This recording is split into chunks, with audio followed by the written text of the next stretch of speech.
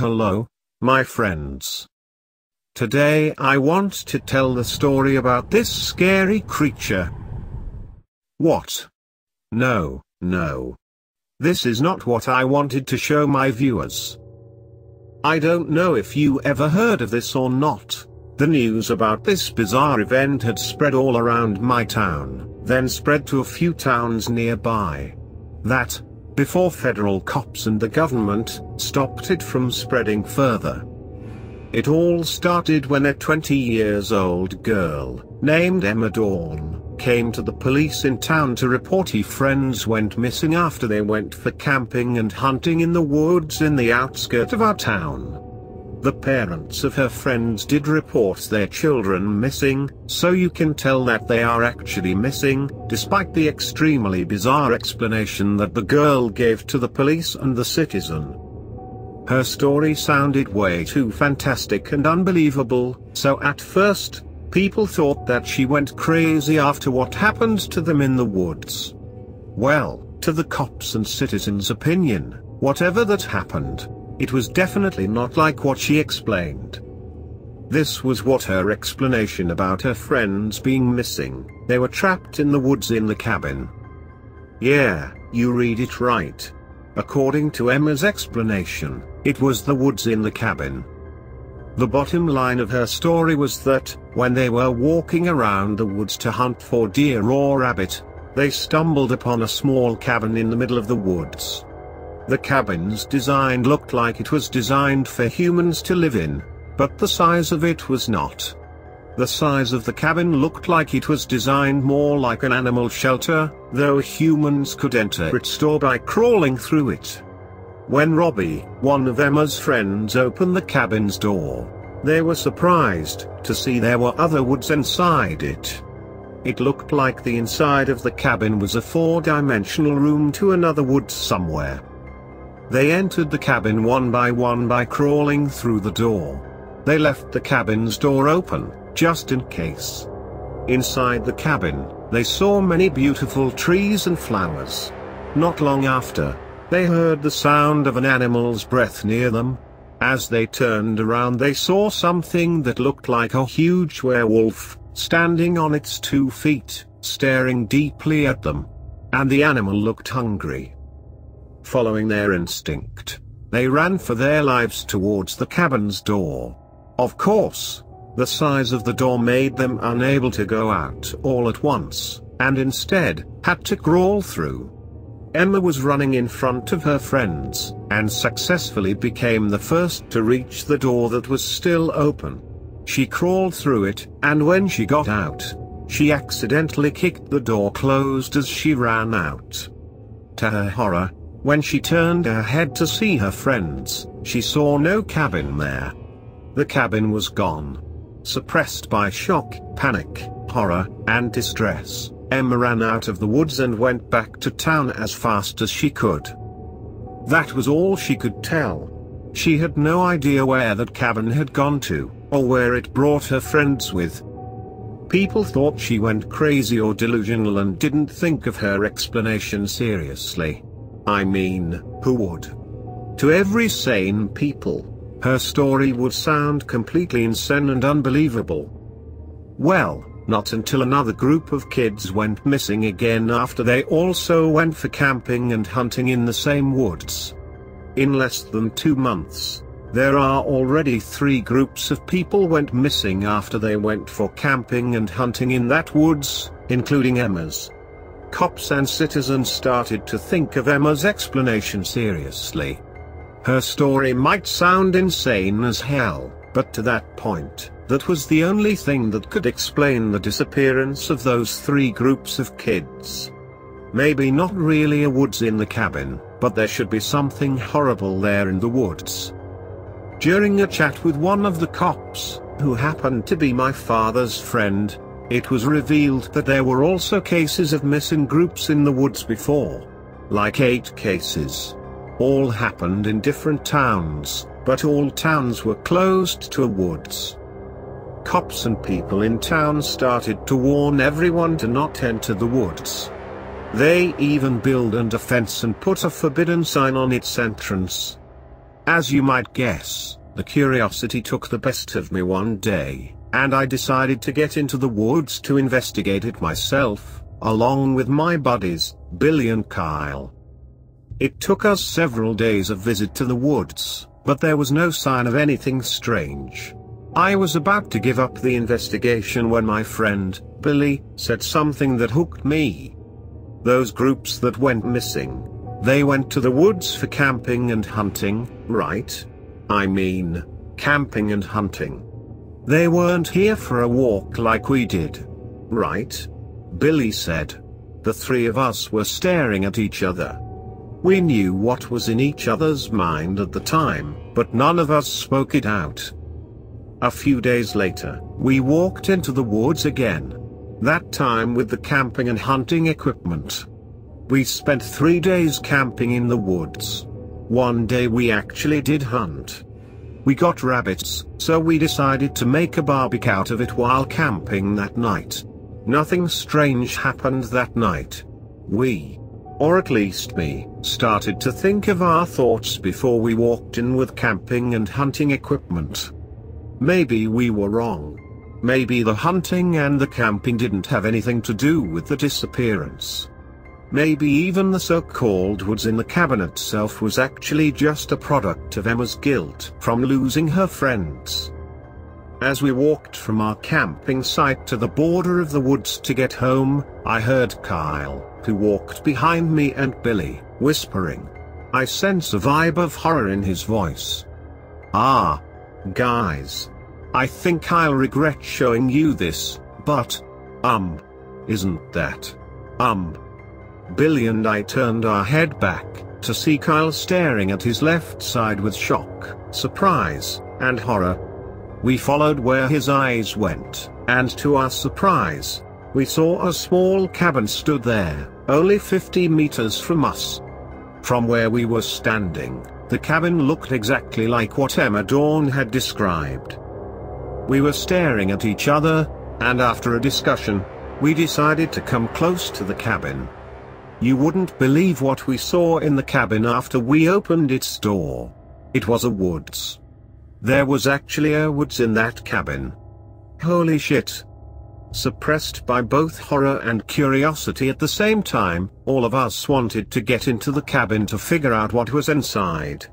But knowing nothing about it, and added that to the story we had heard about it, none of us were dared to actually enter. We finally reached the deal that one of us will stay outside to keep the door open, and the other two will get in, to keep an eye on each other inside. Kyle was the one to stay outside and I and Billy would get in. Billy was the first to crawl inside, but he was about to be fully inside, he suddenly stopped. He stopped for a few minutes. Hey, dude, what's up? Why are you stopping? I asked. Guys, help me. Pull me out. Now. We gotta get out of here, Billy replied. What? But I thought. I hadn't finished my words when Billy cut it. Get out. Get out. Get out. He yelled in panic as he crawled back. In reflex, Kyle and I pulled Billy out of the cabin. Without any words, he slammed the cabin's door shut, and grabbed the hands of Kyle's and mine and dragged us out of there. You saw something? Kyle asked, with curiosity in his face. We looked back, and we saw the cabin still stood there. Well, it stood there, before eventually vanished right before our eyes. Run. Billy screamed. We ran out of the woods as fast as we could. As we got out, while we were still panting and trying to took a breath, Billy opened his bag, and pulled something out. It looked like a glass bottle, with a paper rolled up inside it. Billy put the paper out and opened it. It looked like a letter, and it was written in English. I haven't had a chance to fully read this, but, I had a chance to read the name of a person who wrote it, right at the top of this letter, Billy explained as he pointed his finger at the top of the letter, where there were names written on it. Robbie Klein, Alexandra Dimes, Daniel Dixon, Morgan Lynx, Wait. Isn't that? I was consumed by horror as I noticed whose name was written there. They were names of Emma Dawn's friends. The very first group from our town that went missing in the woods two months ago. The letter explained what was happened to them. The letter appeared to be written using a natural element from trees as the ink. And it seemed like Robbie Klein decided to put the letter in the glass bottle they found, and keep it in the woods inside the cabin, with the hope that if the cabin's door opened again, the letter would find its way out. Or someone who accidentally got in the cabin, just like them, would find it. We gave the letter to the cops later on, which eventually made the cops contacted the federal to close the access to the woods, and cut off the information about the incident to spread further. But before we gave the letter to the police, we made a copy of the message in the letter. I warned you, Read this at your own risk. As I explained earlier, this might sound way too fantastic, insane and unbelievable, but I. We proved it ourselves. We were there. We saw the cabin ourselves. Here is what was written in the letter that Billy had accidentally found in the woods inside the cabin.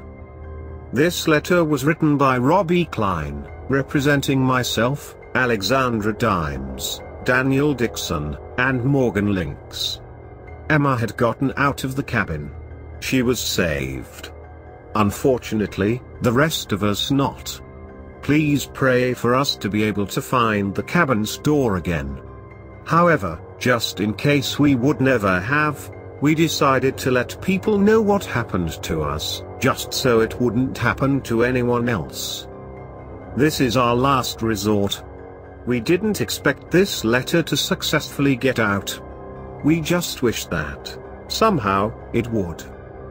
If Emma had successfully reached the town, she might already tell you what happened. As crazy as it might sound, it was true. On our walk around the woods to hunt for deer or rabbit, we stumbled upon a small cabin. The cabin looked more like an animal shelter than humans, but we, humans, could enter by crawling through the door. Inside the cabin, there were a woods. No, seriously, there was a huge, tropical woods inside that small cabin. The cabin might be a four-dimensional room, or the door might be a portal to another world. Either way, we were trapped here. We ran for our life when we spotted a creature that looked like a werewolf standing not far from us. After Emma had gotten out of the cabin's door and accidentally kicked the door close and made it vanished into thin air, we had no other options than to turn around and found a way to survive in the woods, while looking for a way out. The werewolf that we originally thought was hungry and was about to eat us alive, turned out to be just standing there.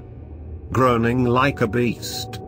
Somehow for every one of us, it sounded like it was trying to warn us out of something, but we didn't understand anything it said, so then, the werewolf turned around and ran to the woods.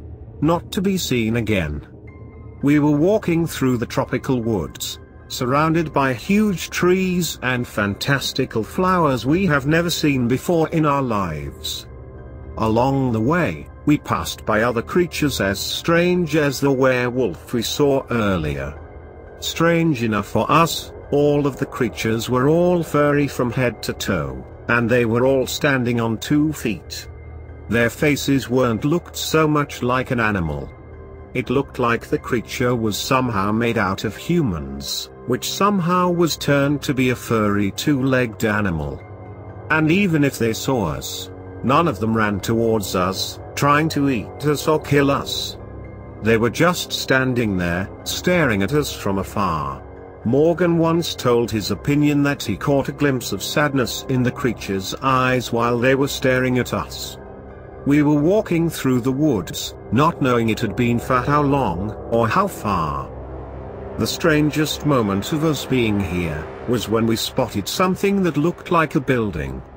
We immediately ran towards it, the building looked like it was made of concrete, with thick, bulletproof glasses on some parts of it.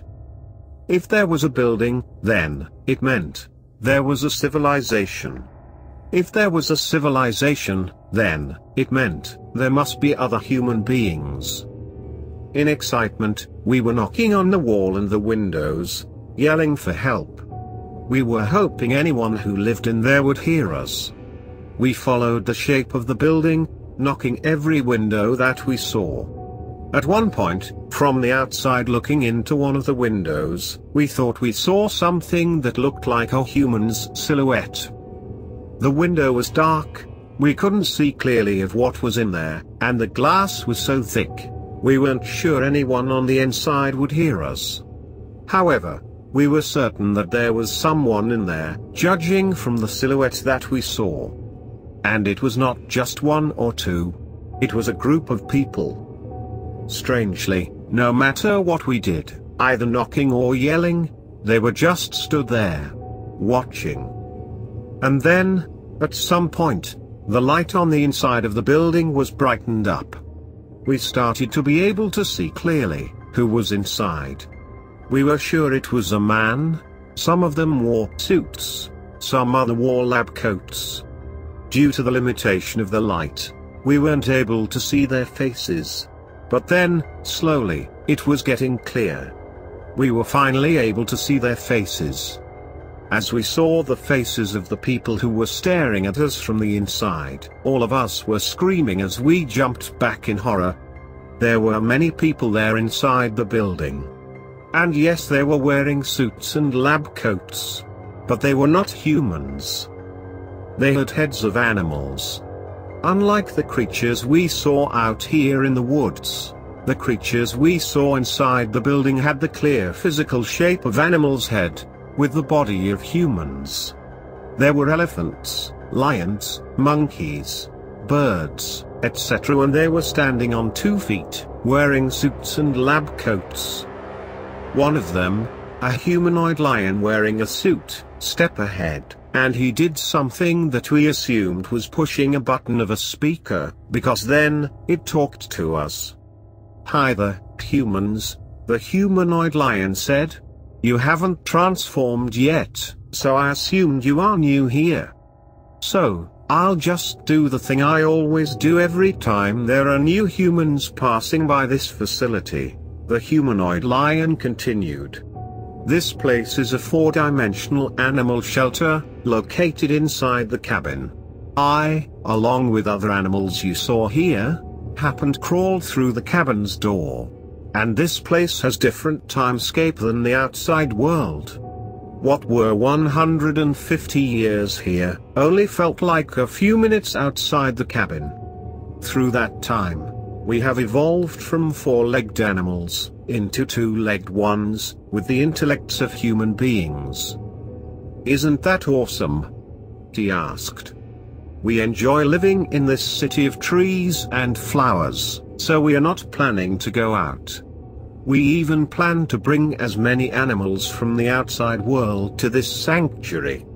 We have the responsibility to save them too the humanoid lion paused. Then he continued from you, humans. You've been treating us like lab rats. Skinned us out for fashion. Hunting us down for fun. But here we are, in a sanctuary of animals and plants. So, so, you're planning to take revenge on us? Daniel asked, stuttering. Oh. No, no. We are not like you. And we promised ourselves that, the humanoid lion answered. The thing is, even if we plan to bring other animals to this sanctuary, we have a hard time finding the door ourselves.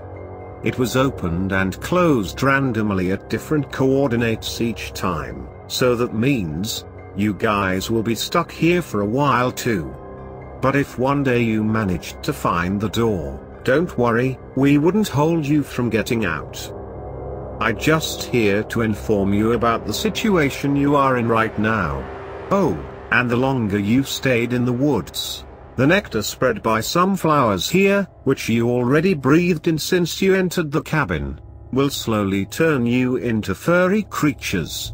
I believed you have already seen come of those creatures on your way here, the humanoid lion added.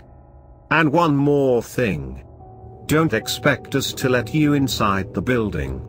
As I said, humans treated us so badly. We couldn't afford to trust any of you. So, while you're looking for the door to get you out, you'll be staying in the woods and learn to survive there.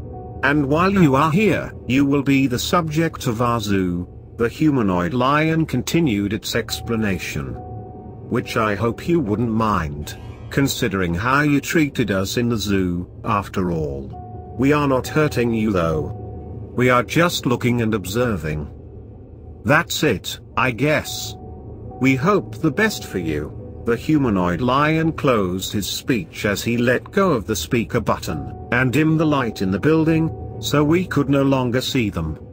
After the meeting with the evolved humanoid animals, we had spent three days in the woods, trying to survive, before we decided to write the letter.